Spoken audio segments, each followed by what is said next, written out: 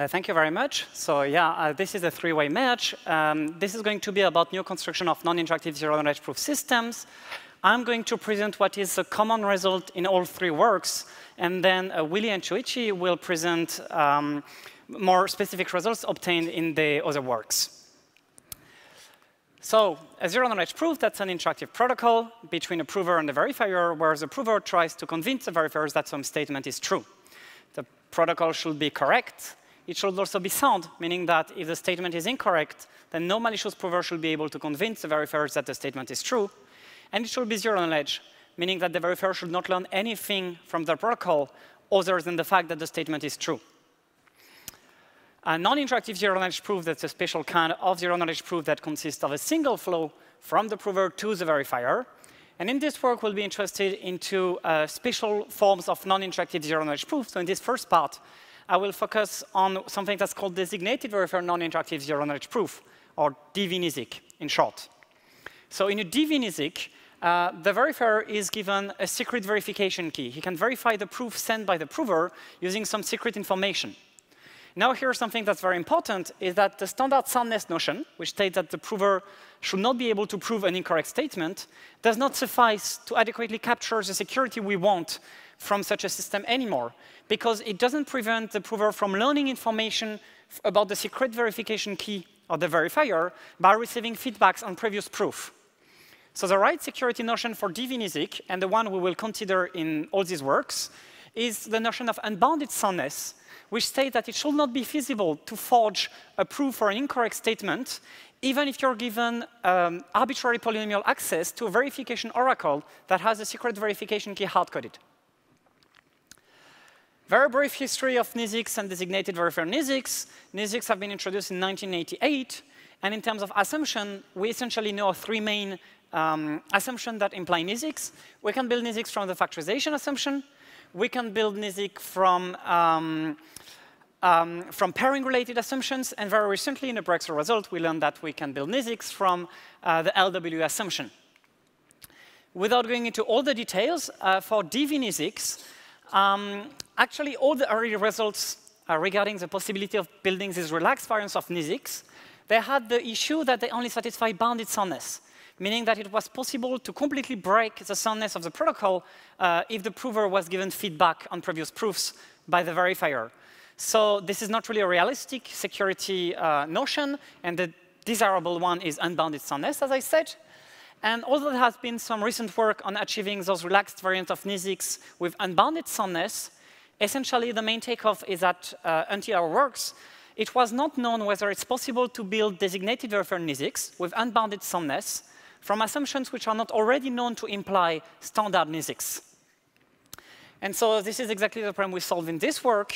We achieve designated NIZKs from an assumption that's not known to imply standard NIZKs. And we build the designated NIZK for all of NP from the standard computational Diffie-Hellman assumption. There is a second result in our work that builds a new NIZKs from LWE plus non-interactive witness indistinguishable proof for a bounded distance decoding language. But since that was recently subsumed by the wonderful result of Peikert and Xie I will not uh, discuss it in this work, in this talk. So here is a roadmap.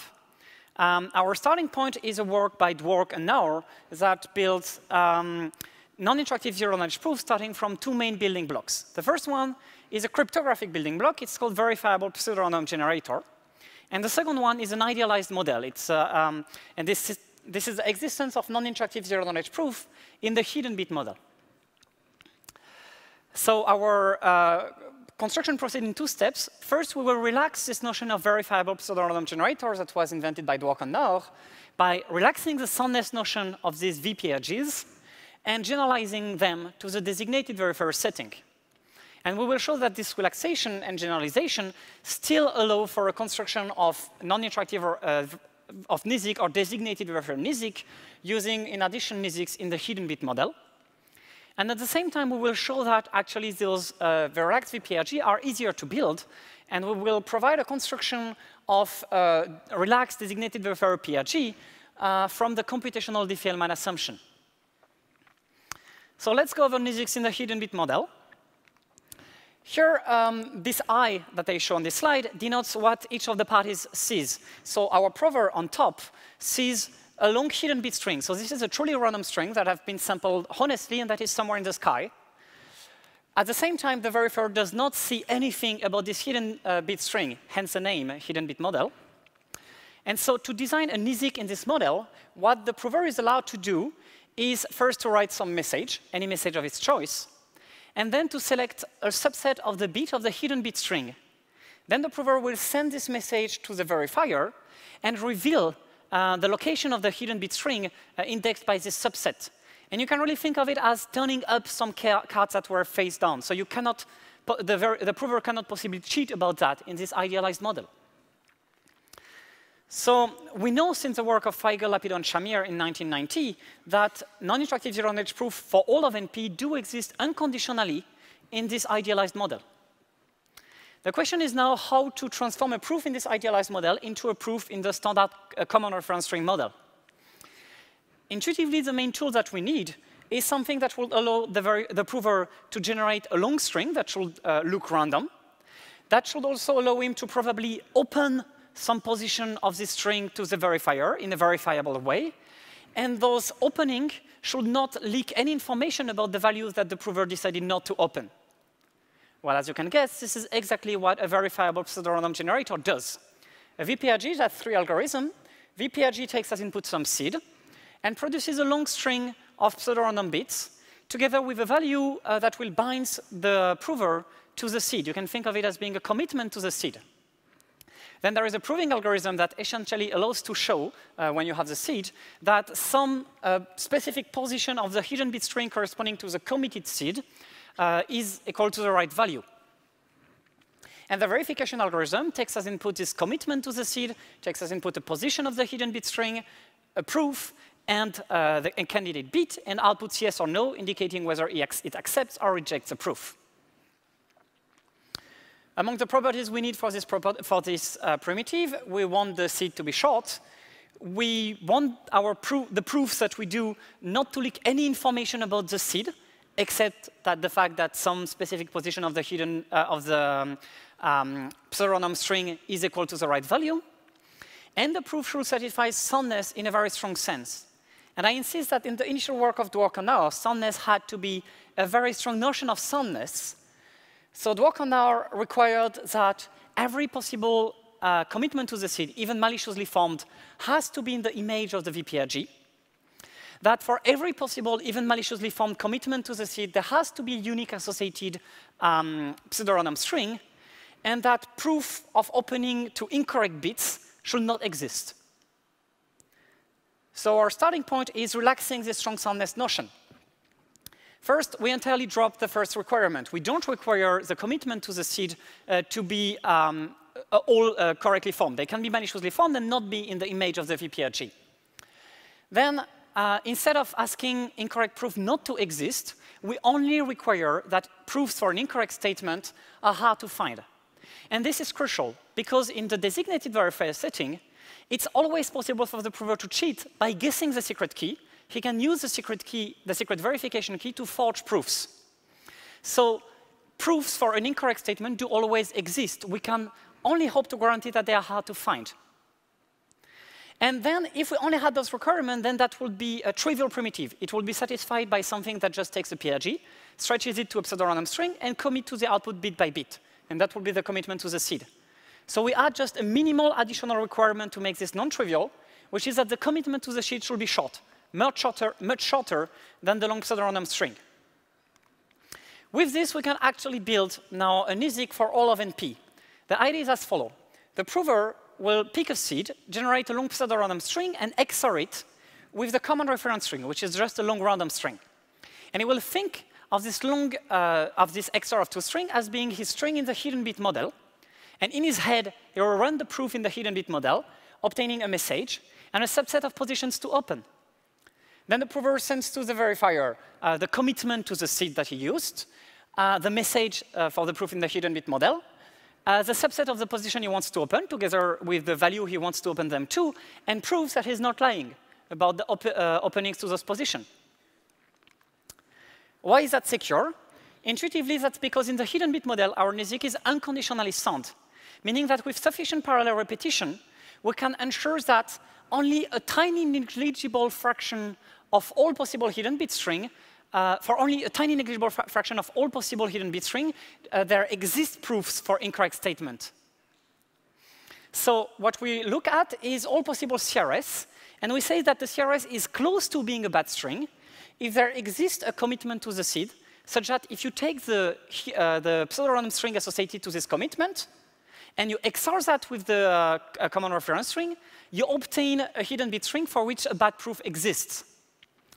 But since uh, the commitments are short, and since we can make uh, the, um, uh, the, the, the, fraction of bad hidden bit string as small as we like, by a union bound, we can ensure that with overwhelming probability over the choice of the common reference string, it will not be close enough to a bad string for the prover to be able to find a short commitment to the seed that will allow him to create a bad hidden bit string.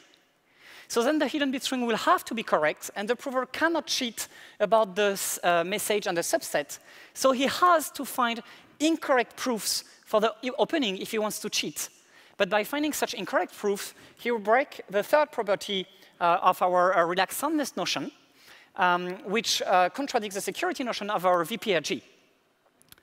And that essentially concludes the proof of the soundness, uh, the proof of the zero knowledge part essentially reduces to the fact that the VPRG uh, does not leak any information about the non-open position. Uh, the main instantiation that we have um, is from the computational Diffie-Hellman assumption. So the idea is uh, quite simple. Uh, CDH states that given G, G to the A, G to the B, it should be hard to build G to the AB. Actually, uh, we will use two well-known results. First, it's known that, it's a result by uh, Kiltz, Shoup uh, in 2008, that if you're given G, G to the A, G to the B, and G to the C, it is hard to build G to the AB and G to the AC, even if you're given a specific checking uh, key that allows you to check the corresponding decisional problem. Like checking given G to the AB and G to the AC, that they satisfy the corresponding decisional relation with G, G to the A, G to the B, and G to the C. So essentially, uh, what has been shown in this paper is that the CDH problem, the standard one, is equivalent to this gap twin CDH problem. So um, we will use a second much well-known result, I mean extremely well-known result, which is the, the Goldreich-Levin theorem, which is that um, we can't find a hardcore bit for any computational problem, so we will denote B this hardcore bit, so the problem we'll rely on is the fact that it should be hard to find this bit, b of g to the ab, g to the ac, even given g, g to the a, g to the b, g to the c, and a secret key that allows us to check the decisional relation between g to the ab, g to the ac, and the previous values. And this can be proven to be equivalent to CDH. Now, in our construction intuitively, this g to the a here will be our commitment to the seed. A will be the seed. And we will think as g to the b and g to the c as being public parameters. We will have many of them, as many as the size of the uh, hidden bit string we want to produce. And now this uh, bit b will correspond to the pseudorandom bit associated to the commitment to the seed with respect to those public parameters. So how do you uh, open uh, so the fact that this is pseudo-random, that it cannot be found, that reduces easily to this uh, computational Diffie-Hellman assumption by the argument I just gave. And how do you open a position of the string? So you simply reveal g to the ab, g to the ac. Then the verifier can check that if he takes the hardcore bit, he obtains the right bit. And at the same time, he can use his uh, twin decisional Diffie-Hellman checking key to check that you've not lied by sending g, g to the ab and g to the ac, and they satisfy the correct decisional relation. So that gives essentially uh, the construction we like, uh, we want. Uh, we will switch to the NEL talk if you have any question first.